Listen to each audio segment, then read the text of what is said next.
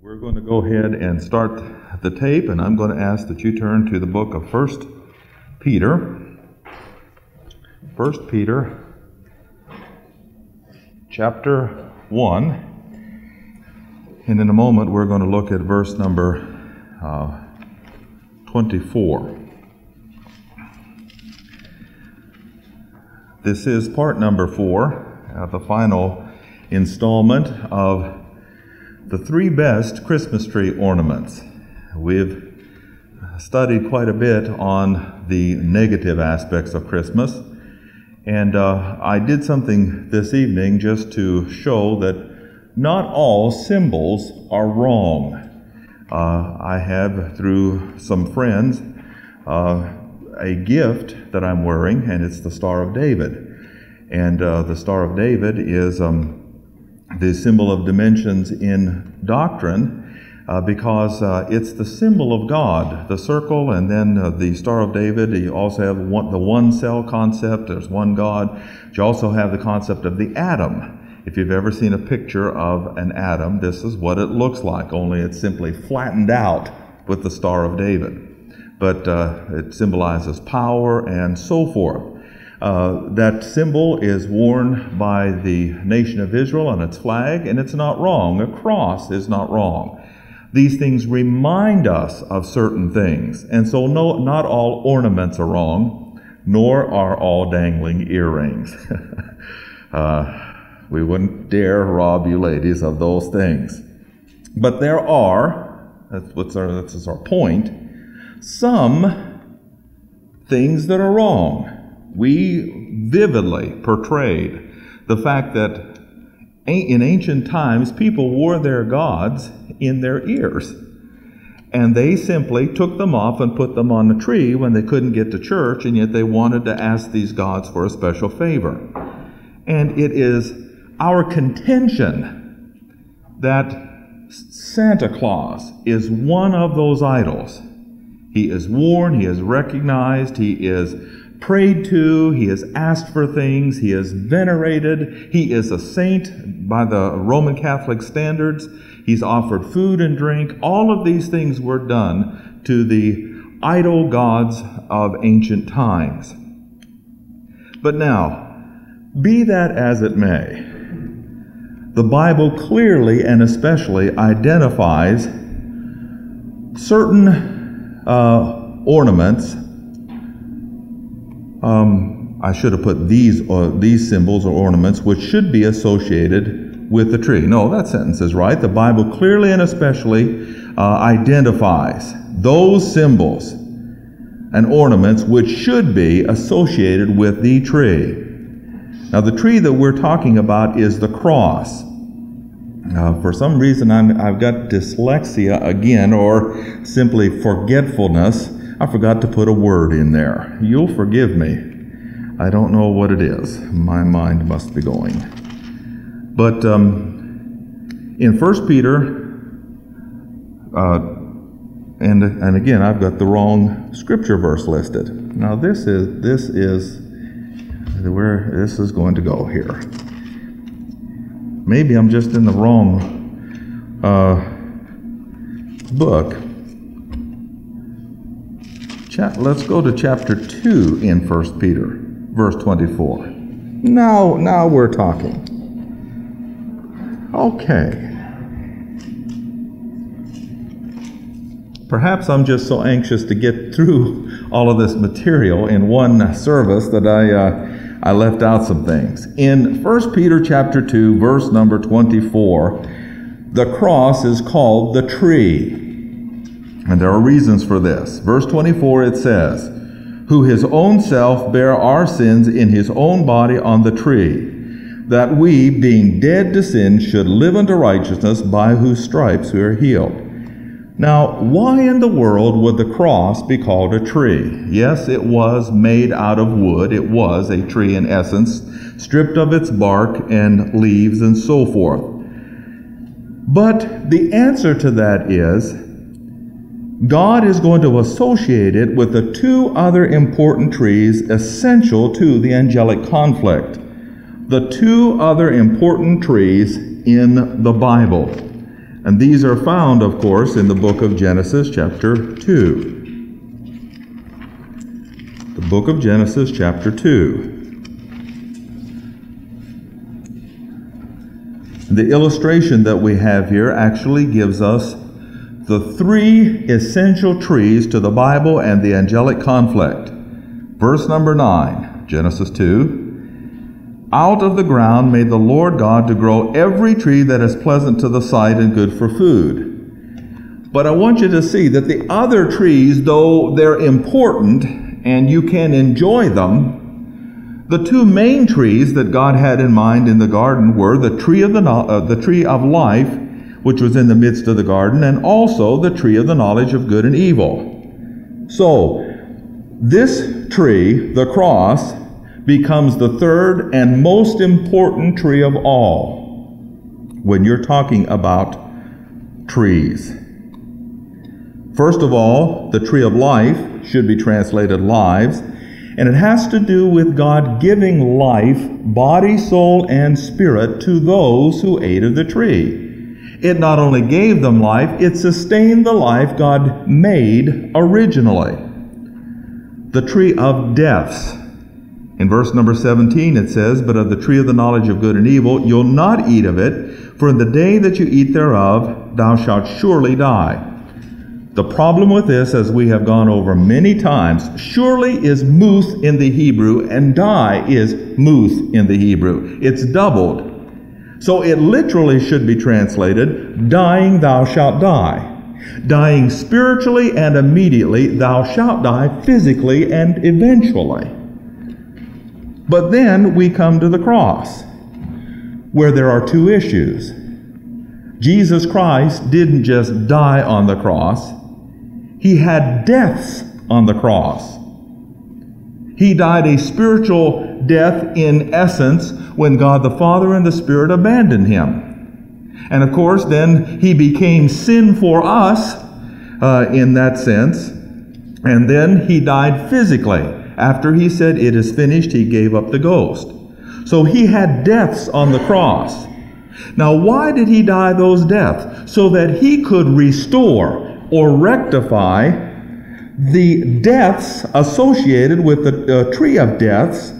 Uh, when, when Adam sinned, he killed his human spirit, and his body began to die. And of course, the soul without God will be isolated in hell, and the soul that sinneth, it shall die.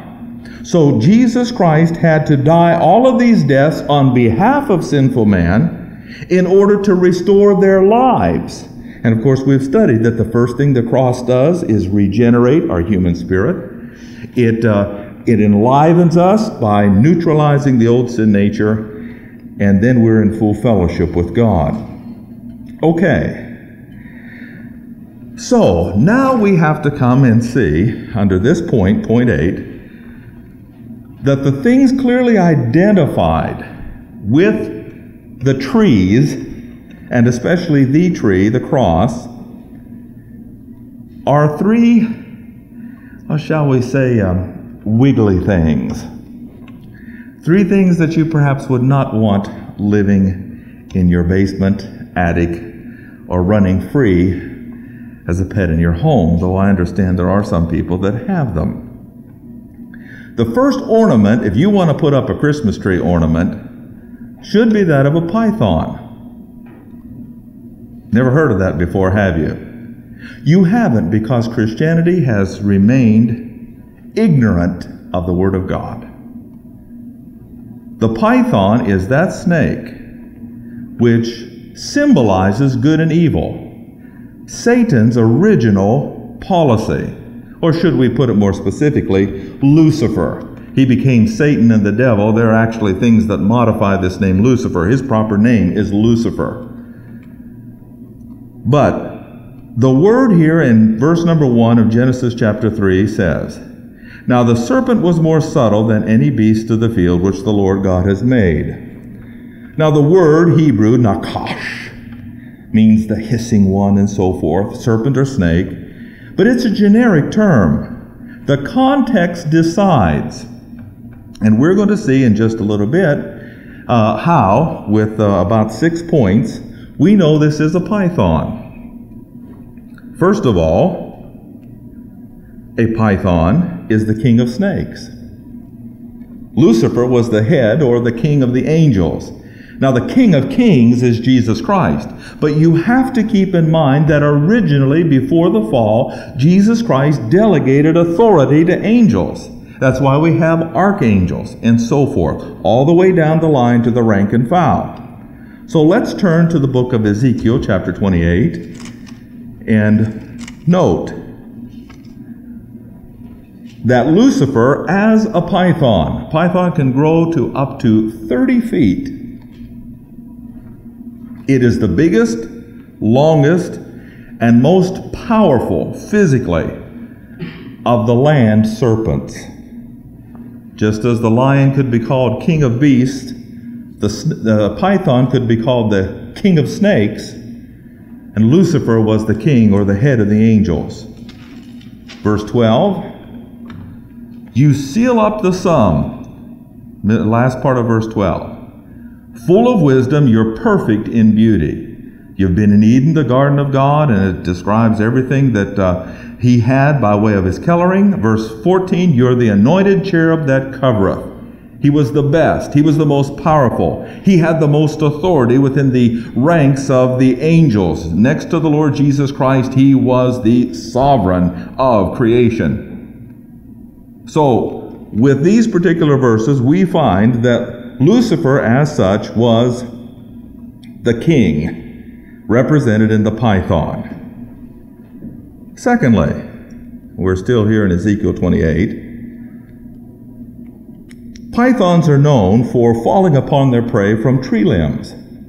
Now, uh, we have a fisherman here uh, who goes down to Kentucky Lake and takes his boat out there, and as he's rowing, he watches the trees because there are other snakes that uh, crawl up the trees and fall out into the boats. And then that's when you abandon ship. And it's funny how uh, a, a, little snake can, can toss a big man right overboard. That's right. He, uh, it's a miracle. He just tippy toes to shore. But they are known for being up in the trees and falling on their prey from above, as Lucifer pounced on the angelic and human creations. Now, again, we will read other verses in the book of Genesis a little bit later, but in verse number 18 it says, You have defiled your sanctuaries by the multitude of your iniquities, by the iniquity of your traffic. He was the head man, and the trafficking means he came down upon the angels.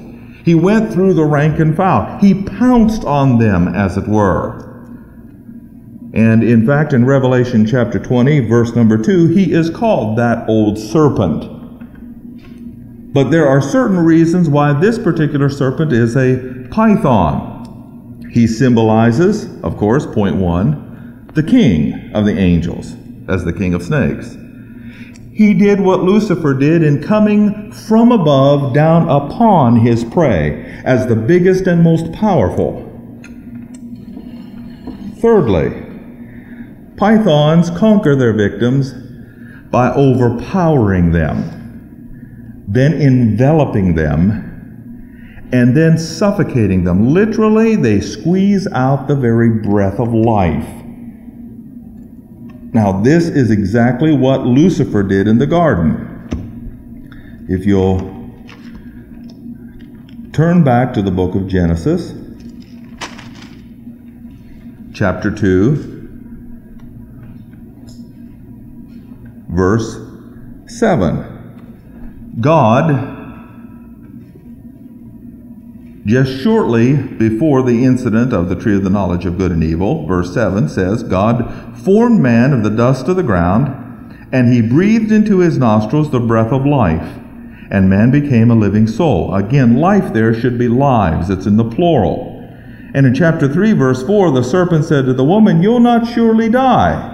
Now, what was going to die? The lives God had just instilled in them. For God does know in the day that you eat thereof, your eyes will be opened, you'll be as gods, knowing good and evil. So, Here is the concept Lucifer as the python wrapped around the body. Now, what do they do?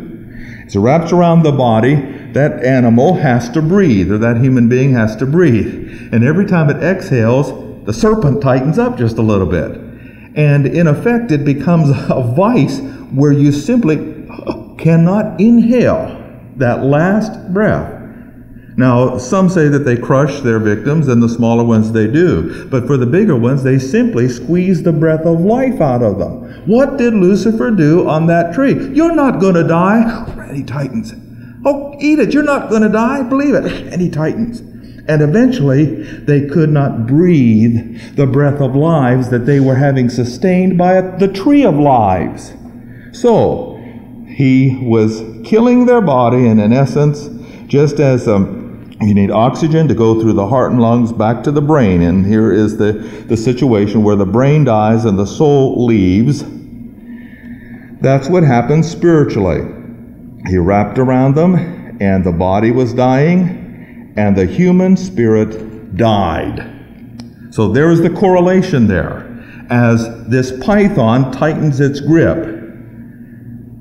Okay, just the, the brain here is equivalent to the human spirit, uh, the, the heart and lungs to the, the life of the body and the brain, and uh, then the body there you can see what he was doing. In, the, in symbolic fashion, he was squeezing the breath of lives from them, in particular, the life of the spirit. Now, point number four.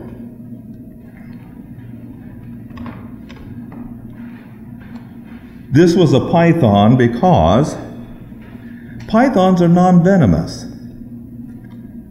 Now, I want you to understand something. Sin was not part of Lucifer's original plan. Sin corrupts. But he wanted, he wants to counterfeit God. So he therefore can't have anything that corrupts. A python is non venomous. Yes, it does squeeze the life out of people. But Satan's plan of good and evil means we leave God out, but we keep our good bodies. Uh, get rid of God, kill him, but we have health and prosperity and welfare and so forth. So, non venomous. We don't corrupt. Oh, God, he says, uh, sure, I don't have my creature spirit, but you're not going to hurt this beautiful body. And God said, Oh, yes, I am, because sin causes that. But good and evil does not want to have corruption in the body. They don't care about the spirit, but they want health in the body. So, here is this python, non venomous. He did not poison or corrupt the bodies of their victims so that they can ingest them. Now, if a python bit their victims and had poison, they eat their victims whole. Where would that poison go? Into the body of the one who just bit them. That's why the python doesn't bite them just crushes the life out of them, then eats them whole, and they do not ingest their own poison back into their bodies. Lucifer wants all of his victims, he wants to surround them and say, You're mine, I caught you. But he doesn't want any corruption in them to cause his own system or his own body any problem. So this is a python. But 217 says, For in the day that thou eatest thereof, thou shalt surely die. So the illustration is, is simply this. Uh, it's a python we know because they di- he didn't ingest, or excuse me, inject any poison into his victim. And the reason was he didn't want that poison to then, as he began to digest, enter his own system. The python symbolizes good and evil. Leave God out, but keep the good of creation. He wants a counterfeit kingdom. He wants to duplicate God. Everything but have God there. Every, the good things about creation he wants to keep. And so Satan will incorporate as much good as he possibly can into his system that are compatible with his own plans. He doesn't want the corruption, but he wants God out at the same time. Back to the book of Ezekiel, chapter 28.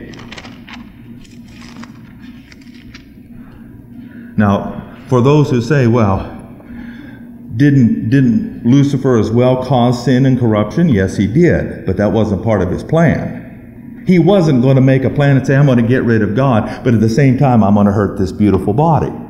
Good and evil means evil out with God, good means I keep my body. All right, chapter 28, verse 15, uh, where it says, you were perfect till iniquity was found in you.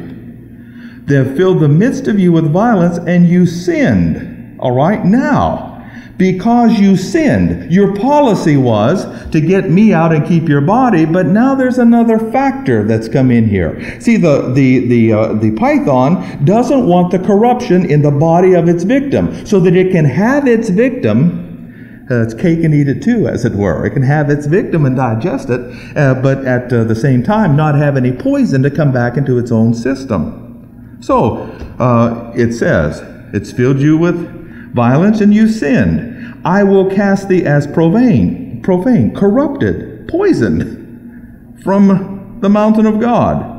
Your heart was lifted up because of your beauty. You corrupted your wisdom. I'll cast you to the ground. You've defiled your sanctuaries. All of those are terms of, of a, someone being bitten with poison and having um, toxic effects in their system. Okay? Two more things with regard to this point. This was a python in that tree because pythons swallow their victims whole as Lucifer did to the human race. A couple verses of scripture to prove that Ephesians chapter 2. Ephesians chapter 2. Verse 1 And you hath he quickened, who were dead in trespasses and sins. Get it? You're dead wherein in time past you walked according to the course of this world, according to the prince of the power of the air, the spirit who now works in all the children of disobedience. Every person that was born in Adam is part of Satan's kingdom. He is brought in as a child of disobedience and for as by one man sin entered the world, and death by sin. They are spiritually dead and they're dying physically, but at the same time they are part of Lucifer's kingdom, among whom we all had our conversation in times past, in the lust of our flesh, fulfilling the desires of the flesh and the mind, and were by nature the children of wrath, even as others. The whole human race has been brought into Lucifer's kingdom at that point. Now, he doesn't control them all as he, was, he would like, but they are all his. Turn to 1 John chapter 5 and verse 19.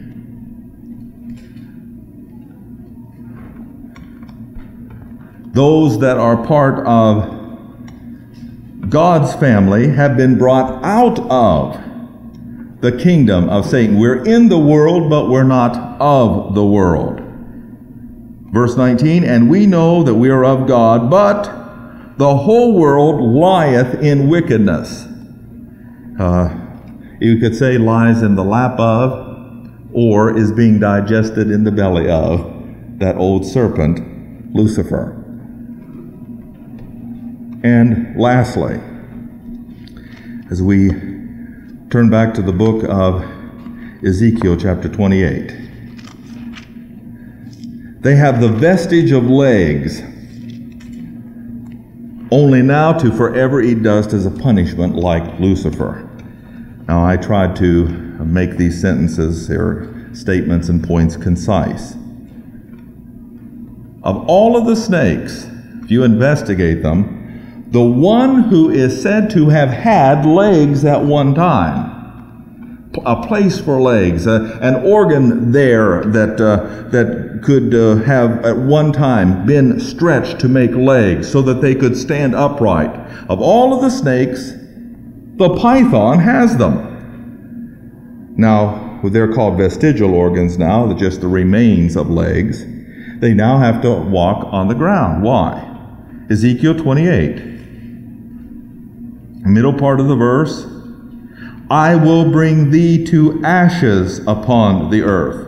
It was the judgment of Lucifer. Quickly, Isaiah chapter 14, verse 15. Thou shalt be brought down to hell, to the sides of the pit.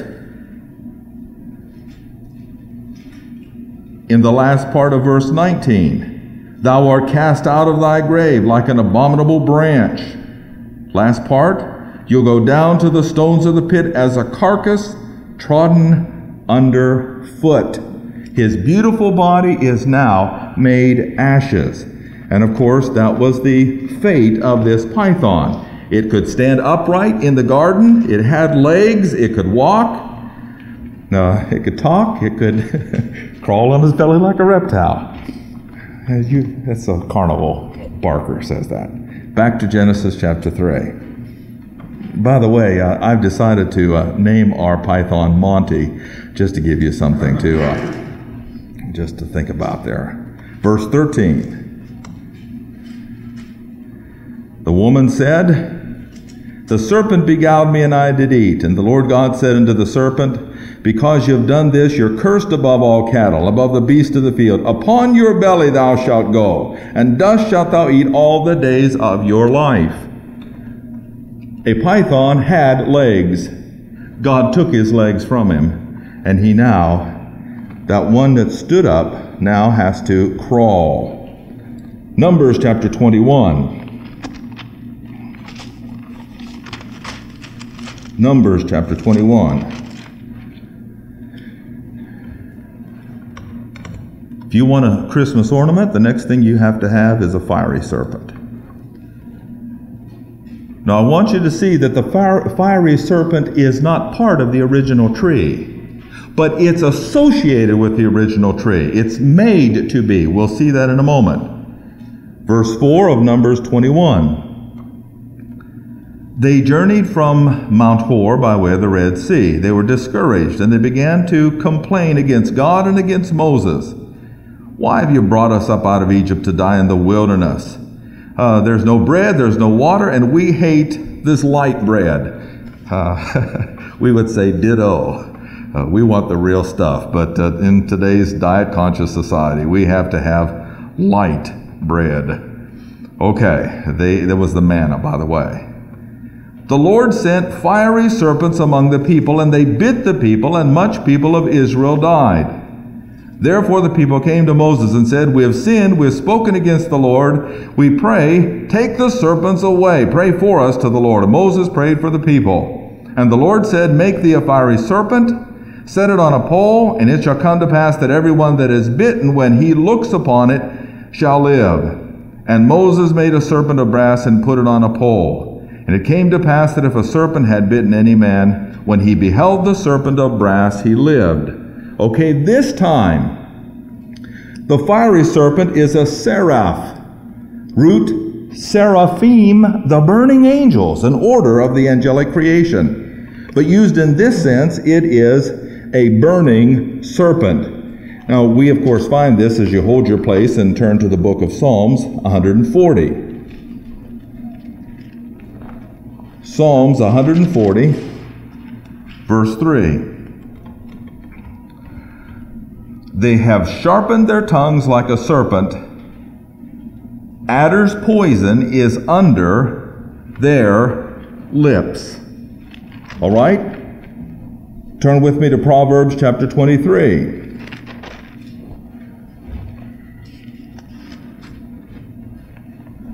Verse 32. It's speaking of drunkenness and wine, but the point is, at the last, it bites like a serpent, it stings like an adder. Now, the seraph, or this adder, was named for its copper or brass color and for, for its burning and stinging bite. It was very inflammatory, very, very painful death. Now, here again is what, what happened. Remember, the python doesn't want to inject its prey with corruption because it wants to eat it, bring it into its own system, as Lucifer does. But God said, You have iniquity, that's your policy, and it's filled you with violence, that is the intent, and thou hast sinned. Okay, so the python represents the policy, but the sin represents the action of the devil, and that, of course, causes corruption. The bite of the poison goes in here, it goes through the, the system of the heart, and this time, instead of taking away the breath, the oxygen, and killing its victim, now it kills its victim because of poison and it goes into the brain, and the brain dies, and the whole system becomes corrupt with poison. Good and evil doesn't want poison. That's the non venomous python. But it does want God out, so it squeezes the life out but preserves the body. But as a byproduct, you, you have to have uh, sin causes corruption. You can't leave God. You must make a choice with your volition. And that, of course, means that in your body, you had a, uh, which wasn't a sin nature, but you have motions of sins that come, come up, and your volition grabbed onto that, and uh, lust comes back in. The volition grabs a hold of it. That's sin. And sin, says James, when it is finished, causes death. And there goes the brain, and out goes the soul. But the picture is this Lucifer, because of sin, though he didn't, didn't want sin, bit his victims. They became corrupt in their body. That's the first thing God did was curse their bodies in the ground. Next thing they, they did was defile their sanctuaries like he did, and their human spirit died. There's the correlation again. You take the physical as to what happened symbolically, then to uh, symbolically and actually to the spiritual. All right, now, come with me to Ezekiel. Well, let's, let's just stay right here because of my, my time. Let's, let's stay right here. Verse number 8 says this The Lord said unto Moses, Make thee a fiery serpent and set it on a pole. And it shall come to pass that everyone that is bitten, when he looks upon it, shall live. Moses made a serpent of brass, put it on a pole, and it came to pass that if a serpent had bitten any man, when he beheld the serpent of brass, he lived. Now, here's the point. Only the python was on the tree originally. The adder is basically a ground crawling snake. Though it can, it has potential for tree climbing. But notice what God did. Take it from the ground. Remember our original study? The point is when the material rules the, the physical, when the, uh, you give life to the material, and it, it, it, takes over your soul, that's poison, that's corruption. So the adder was then brought up to the tree of the knowledge of good and evil. It's good and evil here, G on this side, E on this side, but what happened was Lucifer didn't count on sin. And God must send punishment to sin. Sin causes corruption. So that no matter how much you want God out of your life, uh, no matter how much good you do, as long as you've got the problem of sin, you've got corruption. So you kick God out and you're spiritually dead, but God, in effect, then has to cause you physical death. That's because of sin. So the adder was brought up from the ground and he was put into the tree as symbolized by take him from the ground and put him on a pole. Now, of course, we've got the cross represented here as well. How do we know? John chapter 3. John chapter 3. So, if you want a second Christmas ornament, you need to put a poisonous snake up there because he now is said to be on the tree. And the ultimate tree, the cross, is going to consider all three of these beasts, as it were, and wiggly things.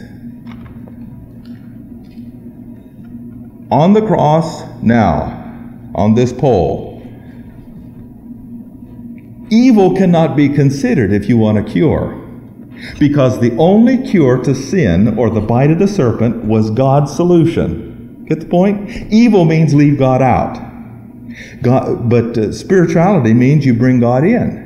The only solution to the problem of the bite of the serpent was in that snake on the pole. Good. How could good? They were all bitten. They were all falling out. They were they were uh, dying there. They couldn't get. The only thing they could do was look. Can man save himself by human good? He cannot. The, we have a world of relig- uh, religious people who are doing good works to save themselves, and they're bitten with this, with this adder that places them flat on their back. They, they're incapable. We're totally depraved, but there is one thing we can do. We can volitionally look. That is faith. So, evil is rejected by that serpent, good is rejected by that serpent. And of course, the serpent now represents the corruption of sin, the old sin nature, and sins that are committed. And the brass is a symbol of the metal of judgment. God judged the serpent on the pole rather than the people who were bitten. He cured them, but focused his wrath upon the brazen serpent. Now, John chapter 3, Jesus Christ says, verse 14, as Moses lifted up the serpent in the wilderness, even so must the Son of Man be lifted up, that whosoever believeth in him should not perish, but have eternal life. The serpent was put on the cross. The python is there, good and evil, but they're rejected. Good and evil never made Jesus Christ succumb. That python never crushed Jesus Christ. He held him at bay. He rejected good and evil as a means uh, or as a lifestyle, a viable lifestyle. Uh, alternate to that of God. But on the cross, God the Father focused the punishment of our sins on Him. He was made the sin offering for us. He was made the brazen serpent so that we might not have to have the corruption of sin in our lives. All right? Quickly, ornament number three Psalms 22.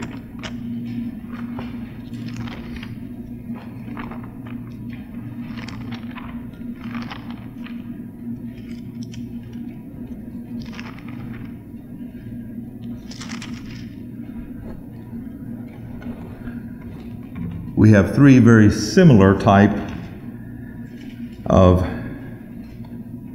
beasts. Now we have a worm, or actually a, an insect as such, but it's considered a worm as a larva and so forth. The Messianic Psalm, verse 1 My God, my God, why hast thou forsaken me? Why art thou so far from helping me and from the words of my roaring? Jesus Christ said that. It's recorded, the first part of it, on the cross of Calvary.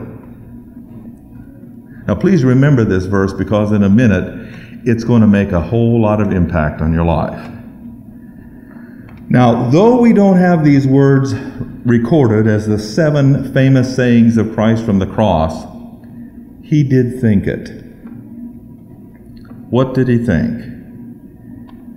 I am a worm, verse 6, and no man, a reproach of men and despised of the people. Turn with me to Job chapter 25.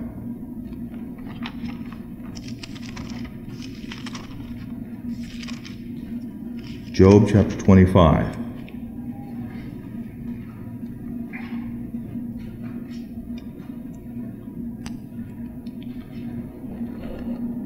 Verses 4 through 6.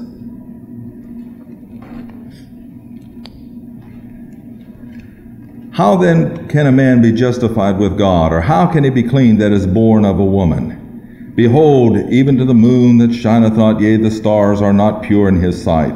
How much less a man that is a worm, and the Son of Man, which is a worm. And of course, Jesus Christ is called the Son of Man. And in the case of the cross, he's thinking this I'm a worm. Now, what's the import here?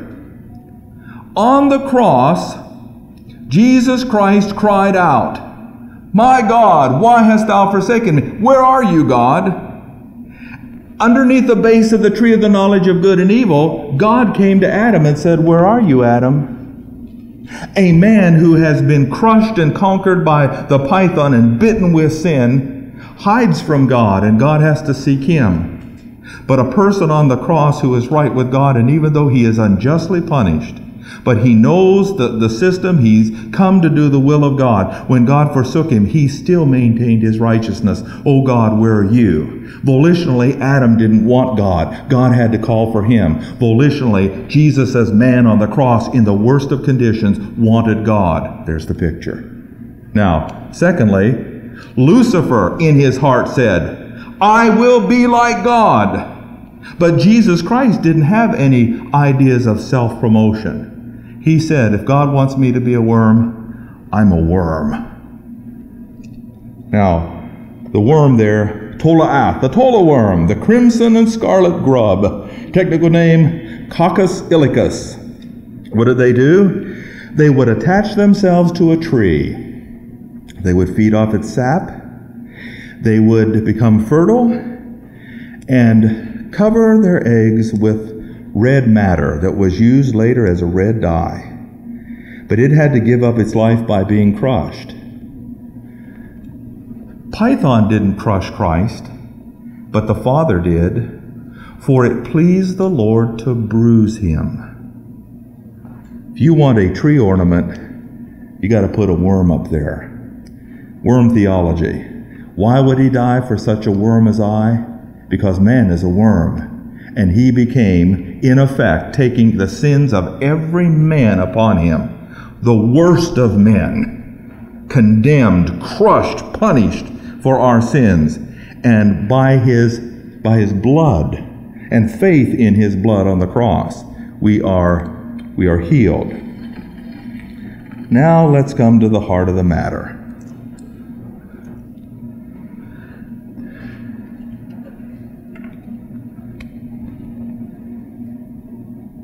What is the heart of the matter? It's very, very simple. We'll draw in our characteristic little marks here. Why did Jesus Christ die on the cross of Calvary? So that the first thing he might do is give you spiritual life. So it's aimed at this.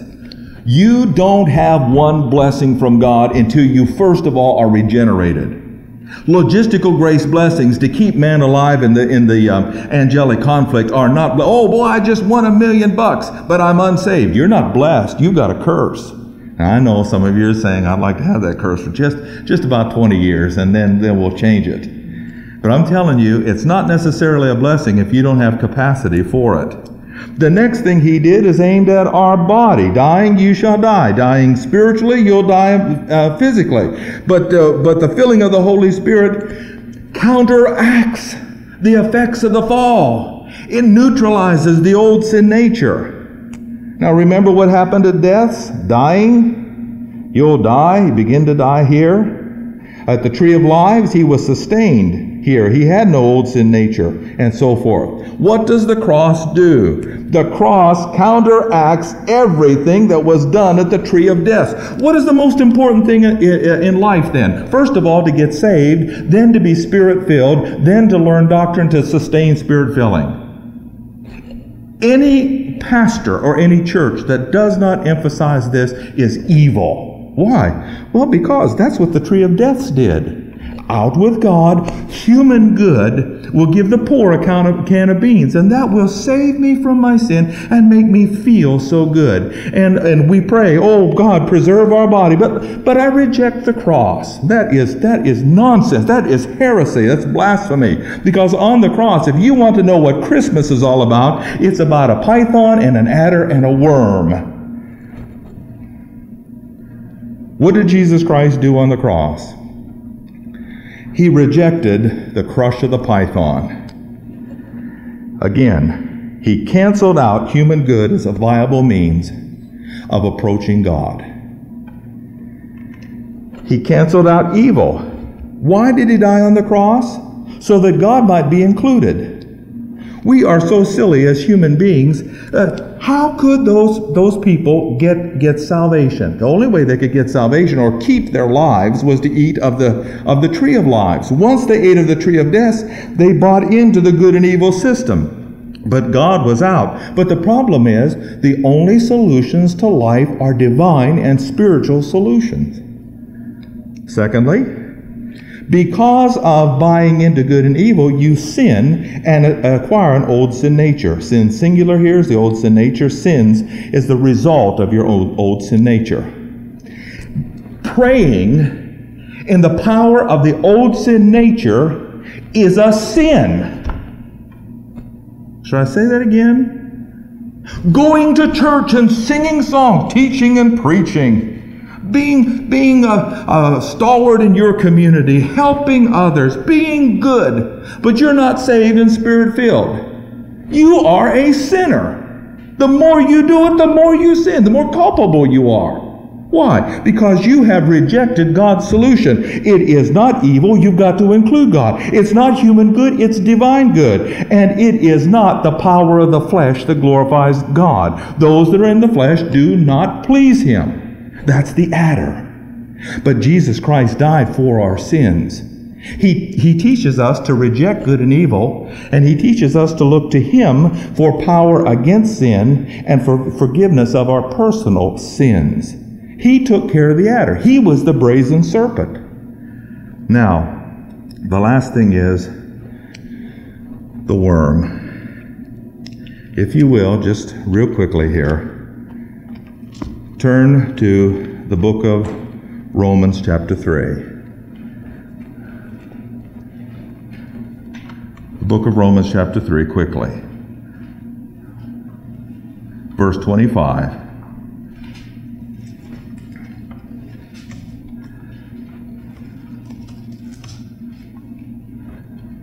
The coccus iliacus worm, making a red dye for a a covering primarily for royalty. It was an expensive dye. Only the aristocrats and the wealthy had it, the kings had it. Their scarlet robes and purple robes.